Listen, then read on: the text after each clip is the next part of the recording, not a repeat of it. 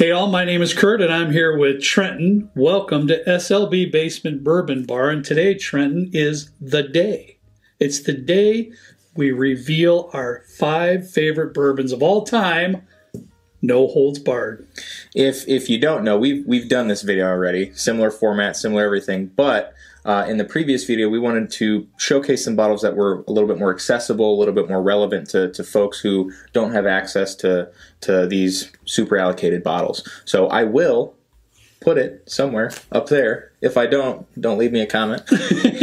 um, but yeah, we're gonna go through our top five of all favorite of Yes. all time. Yes. Um, I guess these most looking at these, these are all pretty allocated or hard to find. So Yeah, and, and you know what? We did have some of those comments were a little bit angry too because they're saying, Really? "How could you ever put up five bottles that you say is your favorite of all time and then limit that list?"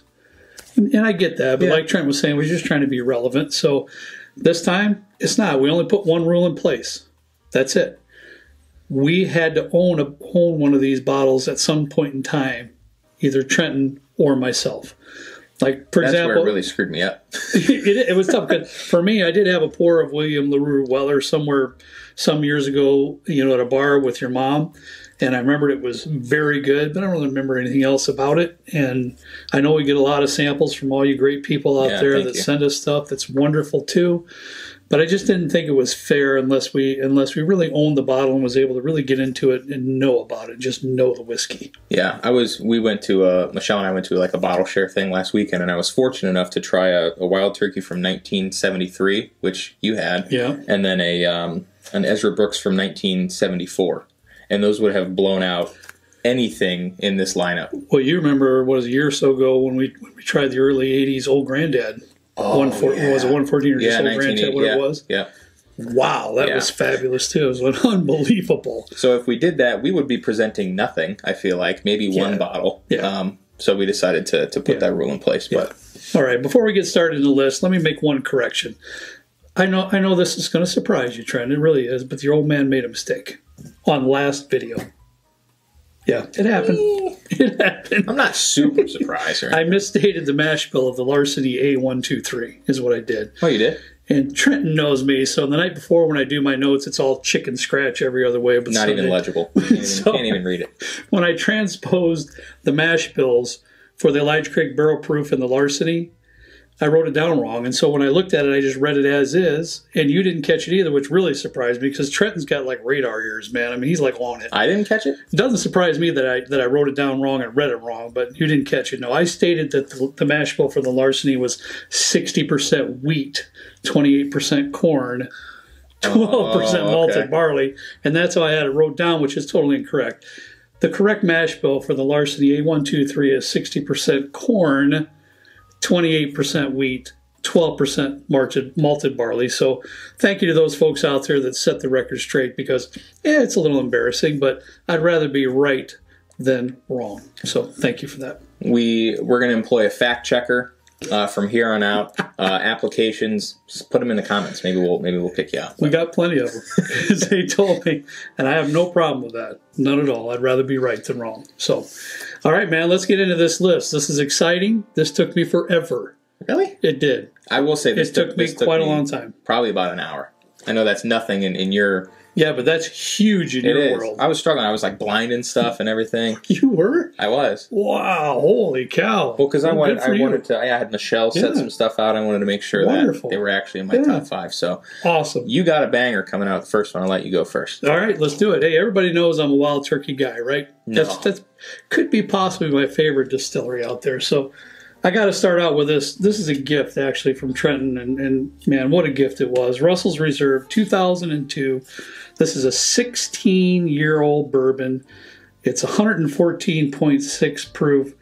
The master distiller's tasting notes: pear, citrus, white chocolate with spice and malt notes.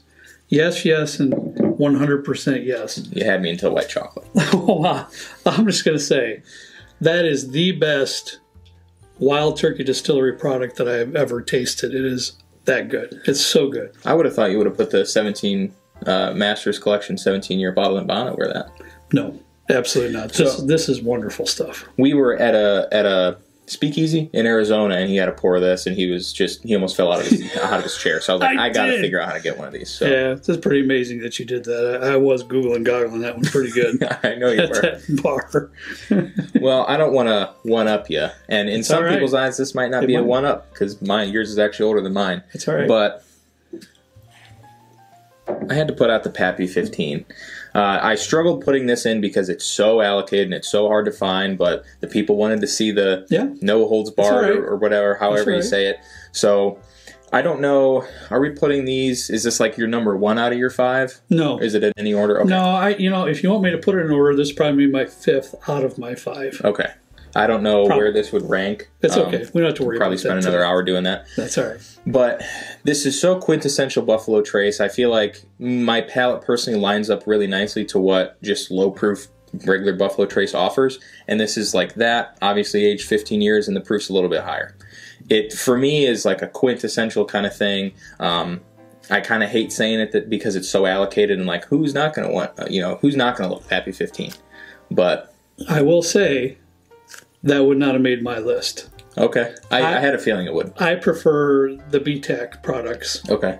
over over the Pappies. That's just me. I thought this one was the best you had, though. We did have a 23 year old sample. Uh-huh. This was way better than that, in my opinion. Yeah, the 23 was a little bit overoaked, but I know you're not like notoriously a Wheater fan, so it doesn't surprise me this wouldn't be in your top five. But Yeah. for me, being a Wheater fan and loving Buffalo Trace stuff, I, I had to put it in. I, there. I, that one doesn't surprise me. I know. And that's a okay by me. The next one may surprise you Surprise me.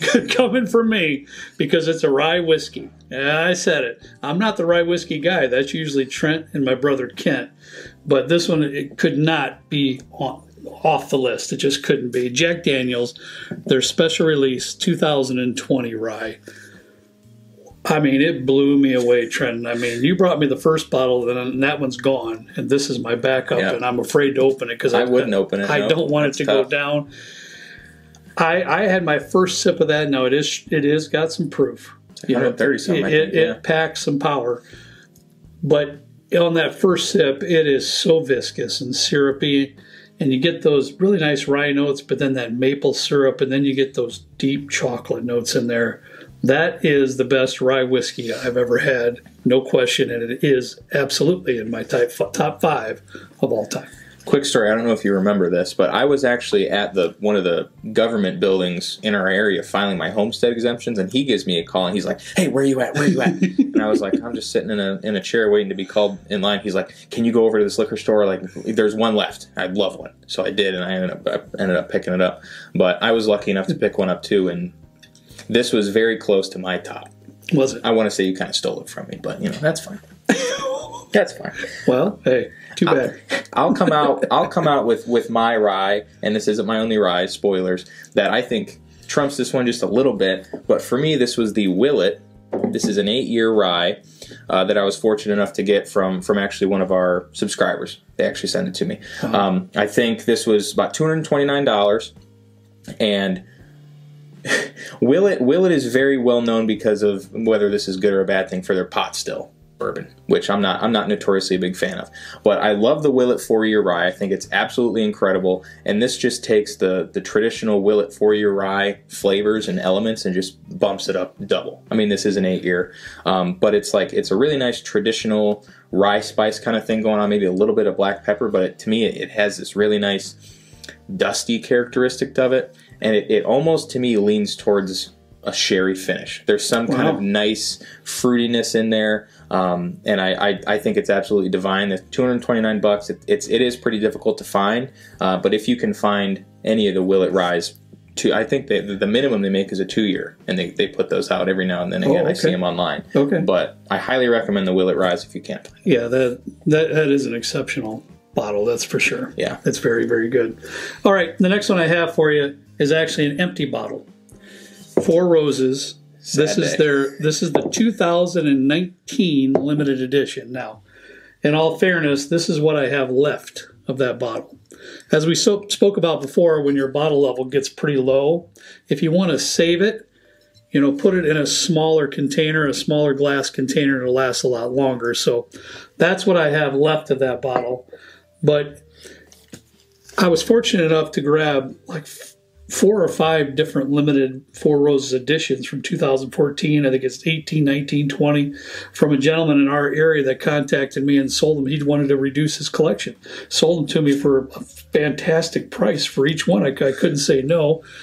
But I couldn't believe that my very first limited edition Four Roses would be my absolute favorite. This one, Trenton, all I got to tell you about this one is depth of flavor. Pretty good. It is just remarkable. You get all that great stuff up front with your caramel toffees, all that good stuff, but it delves into a lot of different other flavors, including the tobacco, the leather, and it, it's just it's just wonderful sip. It's it's an amazing it's an amazing whiskey. It really is. I don't think I tried that very often. I'm not traditionally a big huge Four Roses fan. I enjoy them, but mm. um, definitely not not as much as you. So uh, that's that's cool. Love that one. Um, all right, so Next, also a bottle we got last year um, is going to be the Old Fitzgerald 17 year bottled and bond. This was the spring release of 2022. It's a seven year. Uh, Old Fitzgerald is a wheated mash bill, and huge Wheater fan. So this this is very up my alley. That one doesn't surprise me. It's on your yeah. list. Uh, we were fortunate Excellent. enough also to get the Heaven Hill 17. Mm-hmm. Uh, and Old Fitz does come from from Heaven Hill, and they were very close. And I know you you the Heaven Hill 17 was close for you. That was. But this just being a wheater and that that wheated note that I get in this is just so over the top for me that this to me this just had to go in. So it's velvety. Yeah, it's very, just the toffee note in there is just luscious. I get sort of a, like a, a macerated fruit kind of kind of deal, um, and it's the mm. the wheat note in here is so bold. I love it. The oak doesn't, or the the oak being a 17 year doesn't overpower the wheat, and vice versa. And there's like a nice yeah. nice macerated fruit in there. I love it. Fantastic. Excuse me. My next bottle is one that didn't make your list, and I said, let me know about these couple bottles. Remember, you said yep. didn't quite make it stop the presses because if it didn't make it for you, it's going on mine. This is actually Trenton's bottle, but it's the George T. Stagg 2022 release. Now, the only George T. Stagg that I've ever had was the 2018, and unfortunately, it's gone now.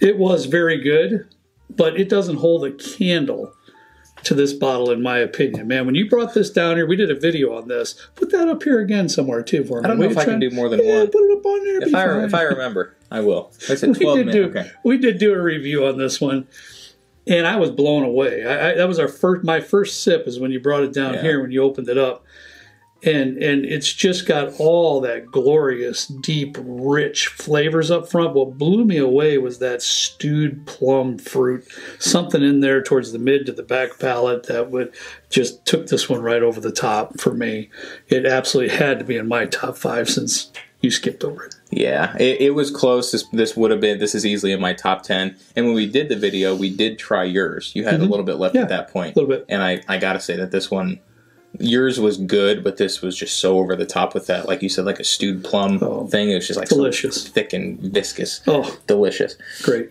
Um, for those of you that that uh, know me, this might not be a surprise, but for those of you that don't, um, I had two ryes in my lineup, and my my uh, my second rye is going to be the Thomas the, the, Thomas Handy. This is the 2020 uh, Thomas Handy. This is in the BTAC lineup. If you're not familiar, um, I actually did a little bit of research. Don't fall over. This is actually rumored to be about a six year rye. Oh, really? Yeah, I would have thought it was maybe a little bit older. I would have too. And I, I have, uh, when you tried this, the 16 year at that speakeasy, I tried the Sazerac 18.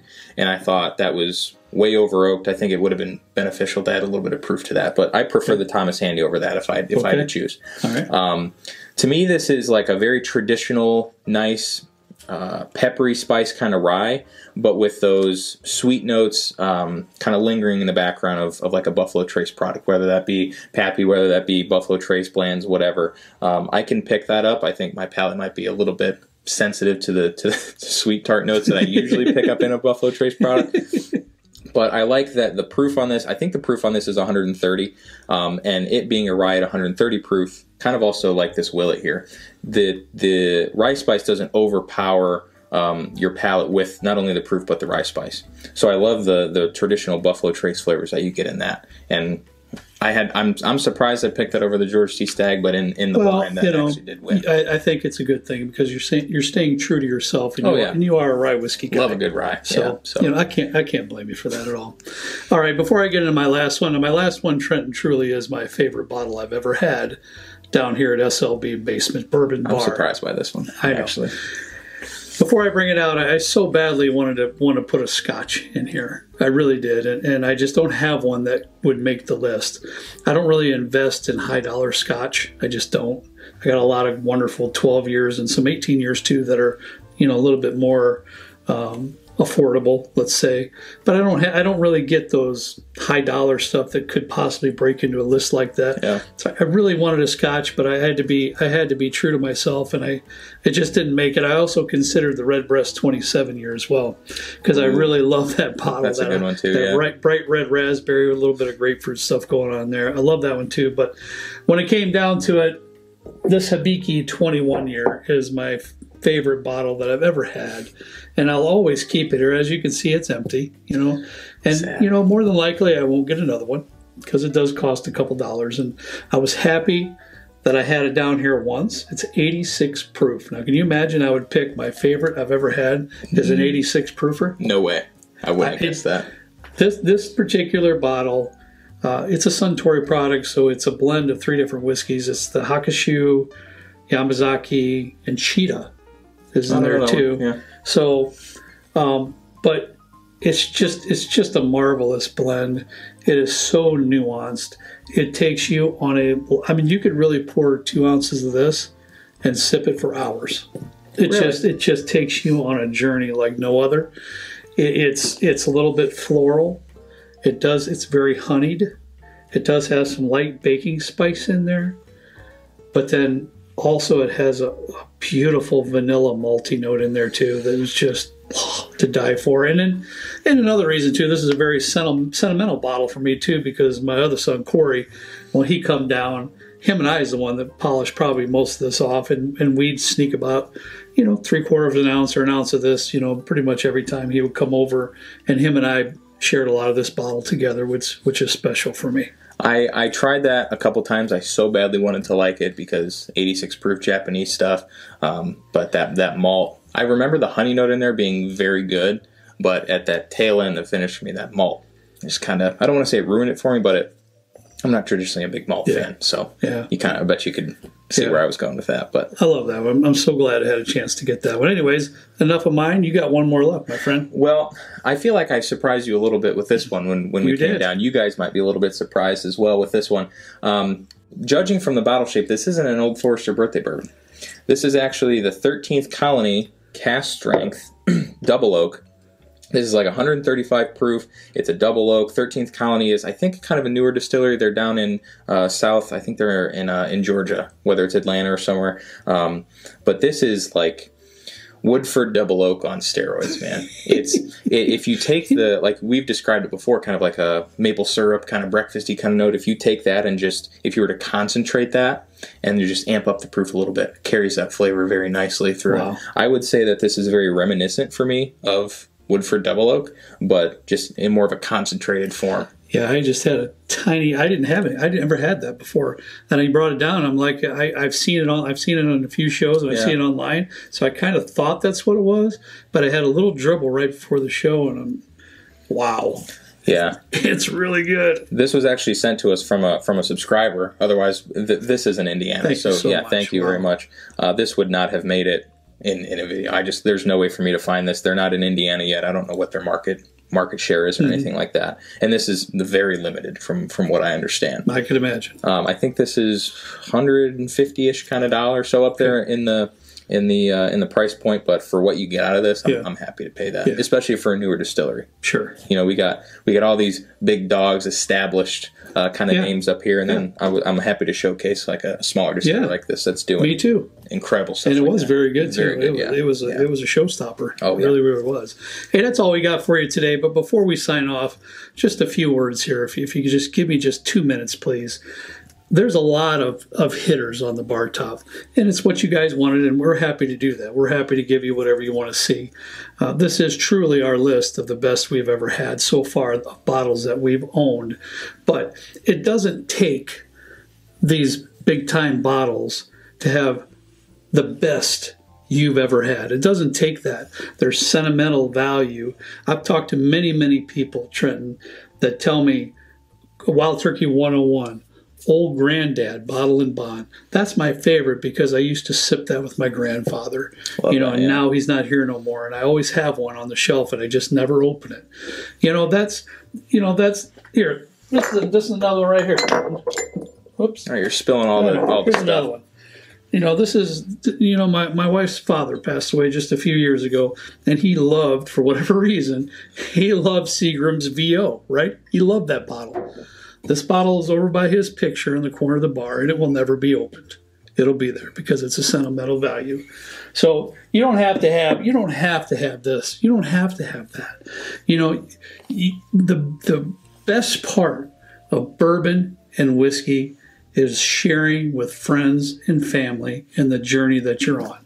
That's the best thing about it. Well said. It's not about this stuff, it's about the journey. So that is all we have for you today. We appreciate and love each and every one of you. As always, we ask you to please drink responsibly, and we'll see you next time right down here with Trent and I in a good old basement bourbon bar. See you later.